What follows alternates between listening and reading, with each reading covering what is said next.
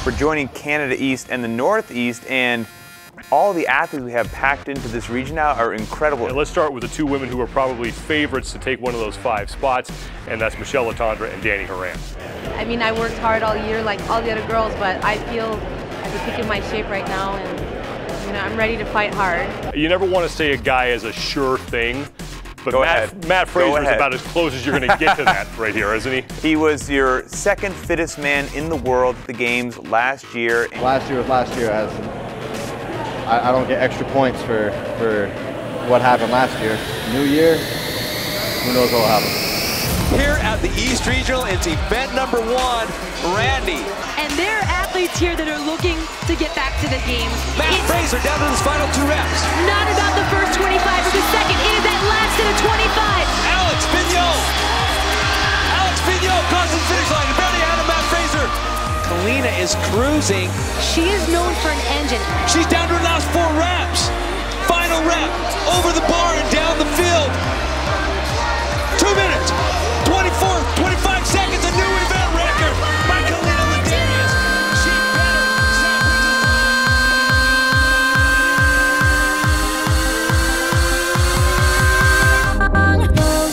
knew was a good one for me. So my goal was just to go and not worry about anybody else. I knew that the first 50 rep were- was fast, but I give all I got in in the last 25, and I didn't check on the other side. Okay, so you're not looking No, at what's I look in the front. What's it going to take to be one of the top five this weekend? Consistent, constant. Yes. Don't lose any workout. And they are off, getting underway with 21 thrusters. And Michele Letendre came into event number two in seventh place in the overall standings. Two rope climbs for Austin. Spencer Hendel now has three rope climbs left. Cody Mooney stuck in ahead of Austin Malleolo. Austin right behind him. Horan back to her thrusters, as is Kelley Jackson. Spencer Hendel does have a shot at it. And Austin was one of those athletes that missed the games last year. I know he wants to get back. It was the legless road climbs last year that kept Malleolo out of the games. This is redemption. She only has nine thrusters left.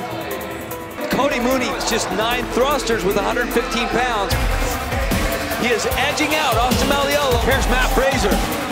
Finishing up his last thruster. Now it's back to the road. Cody Mooney down to three rope climbs. Now down to two. This will be her last rope climb. Confidence in the movement. She is thrilled with that performance, and she should be. There's Spencer as he touches that crossbeam. There's his final rope climb, a sprint to the finish. He will step on the finish mat, 7 minutes 29 seconds. He will have the fastest time of the day. And the gloveless Cody Mooney will step on the finish mat. But we've got a foot race between Austin Malleolo and Alex Vigneault. And it was too close to call. I'm glad they're wearing chips. The leaderboard on the men's side after two events, Mat Fraser sits in second. Alex Vigneault will sit in first place. He has a 20 point lead over Mat Fraser. In spots 5 through 12, though, you have five games vets, and just 23 points separate 5th through 12th. Remember, the top five athletes in each division advancing to the CrossFit Games. Man, I'm not happy with where I am, but I mean, day two's, you know, that first workout, it's pain, something I'm good at. And then that afternoon's about performance. Handstand walk is something I'm really good at, and that snatch is something that uh, a little bit of redemption from last year. So it's going to be a big day, and I, I gotta I gotta move. As, as it's dubbed, I believe, moving day. So I have to make good on that name. Dani Horan's in first place with 169 points. A point behind her is Michele Letendre. A point behind her is Kalina Ladaris. And four points behind first is Kelly Monroe. So only four points total separate one through four. It's this crazy tight race on the women's side of the Northeast, and it should make for an exciting day too. My name is Cody Mooney. I'm from Maine. So last year I competed individual and I finished 14th in the Northeast Regional. No one knew my name coming in, and most people probably still don't. And that's just it's fine with me. It's it is what it is. Taking on event number three. Every single point counts in this fight to climb up and qualify to the games this summer. Kalina Ladaris' judges, hand is in the air. Kelly Monroe in the black top now joins Kalina Ladaris. This is the show people expected to see. He gave that wink to the camera because he knew something. He's gonna hold on to these overhead squats. We've got a few judges hands up. Now Mat Fraser finishes 50 overhead squats. He'll be the first one to the GHD sit-up portion of this workout.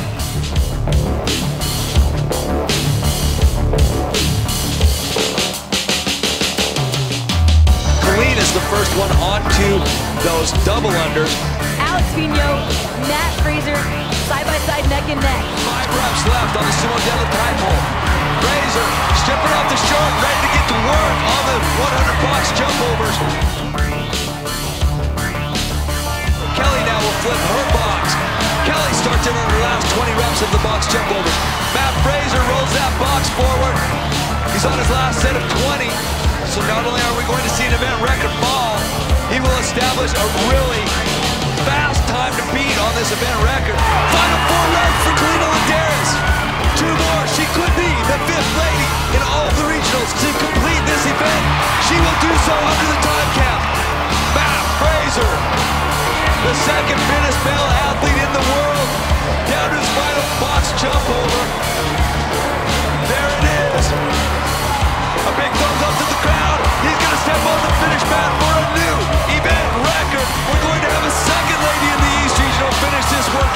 time cap.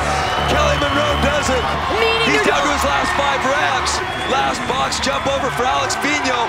He will finish event number three here at the East Regional.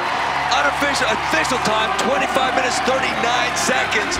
I mean, I could hear the announcer saying like so and so's at this point, so and so's at that point. Um, I, I, I was smiling because I thought I was 20 reps ahead of Alex, and then when I was starting my 91st, they said Alex at 90, and I kind of went, oh shit, like I have to keep going hard. The, the goal of this weekend is to go to the games. That's that's the the reason for being here. And anything other than that, it's ego, it's pride, and I, I think every everyone in the top 40 has that. We, we all want to win, of course, uh, but it's said you'd be a liar if you said you didn't want to win. no, of course, of course, I want to win. That's I, I don't I don't train. Is it a nice bonus or is it the goal this weekend? No, it's the, it's the goal of, of everything. Uh, you, you don't train to picture yourself on second place in the podium. Second place sucks.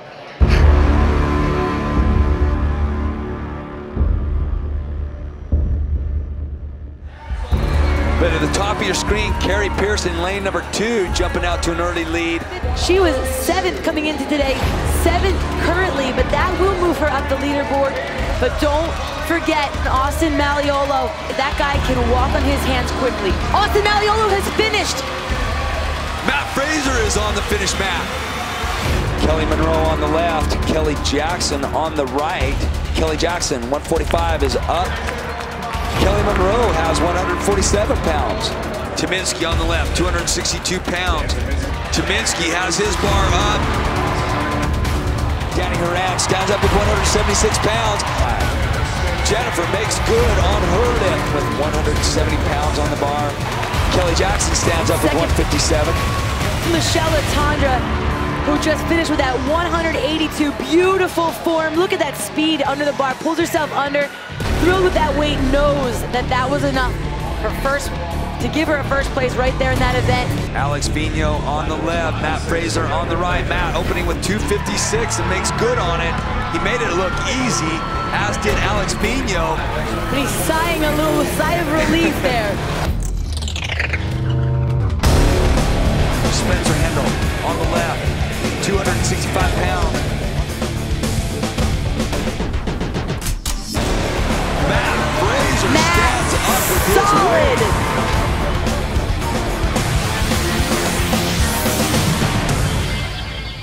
Malleolo on the left, 246. What a finish. And Malleolo is pumped up. I have chills right now. You can feel the energy in this room. Some big numbers, and that's what he did when he came in. Malleolo came into this event in sixth place, just one point outside that fifth place spot. He needed two solid events. He did exactly what he had to do. His bags were already packed because he knew he was moving. My whole fucking year came out of that one lift. God, that fires me up. I don't get fired up often. That fucking fires me up. I'm so glad you went 245. 246. 246. I- Don't take that pound away from me. Don't you take Don't that fucking that pound fucking away from me. Kenny. I haven't snatched 246 in two fucking years. It's Michele Letendre, the woman who finished fourth at the CrossFit Games. She's in first, but five through eight is extremely close. Just four points separating them. Kalina Ladaris has slid down over the past couple events. You know, the last two results certainly did not help her cause. Yeah, and she started off the day so well with a first place in event three. She actually finished that nasty chipper. But then in events four and five, she really did not close out the day well, heading in the wrong direction. She's only seven points ahead of six right now, heading into day three. And lastly, we've got Kelley Jackson. End of day two, she's in seventh place. So that leaderboard is going, maybe not for, you know, Dani Horan and Michele, but there's going to be some shifting going on in that top five. For moving day, I'm where I need to be. I like I like to make a dramatic finish. Uh, as last year I did, so definitely as long as I can move, I'm going to move. Mat Fraser has been climbing up the leaderboard all day today, and he finishes up day two, the overall leader.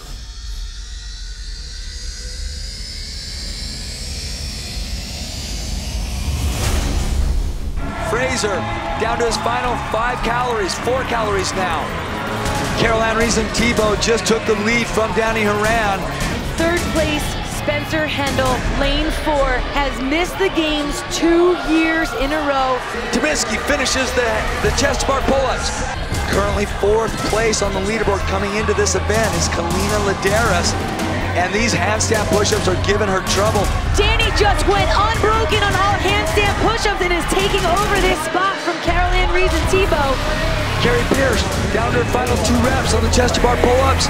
Mat Fraser will have the event record. Carrie Ann Pearce has jumped to the lead ahead of Carol Ann Reason Thibault.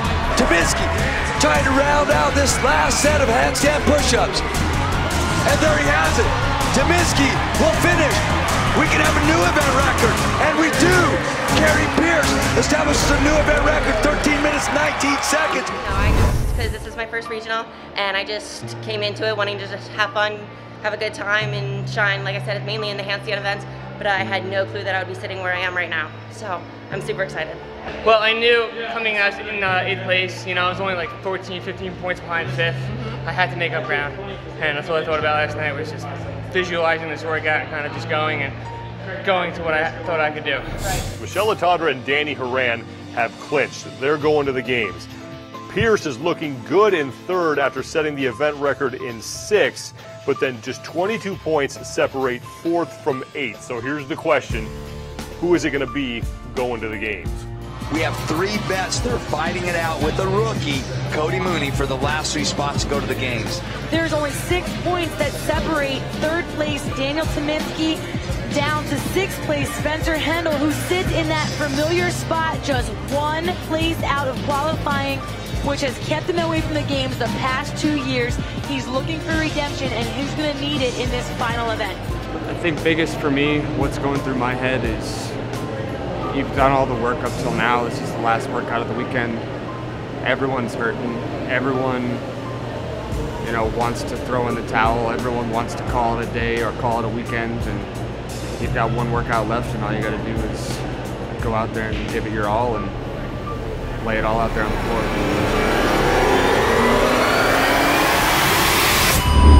And they are off. Keep your eyes on lane eight, Spencer Hendel. He is looking to make a, a move here.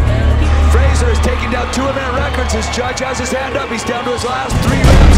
Kalina Ladaris is just getting after these muscle ups. She's just on the outskirts, five points away from fifth place. She needs to move. Tyminski is at the bar.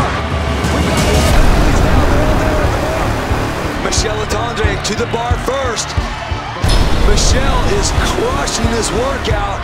Nobody's even close to her. Paul Tedman will step on the line first. Followed closely by Mat Fraser in second place. Tyminski in third in this heat. Hendel right behind him. That will put Michele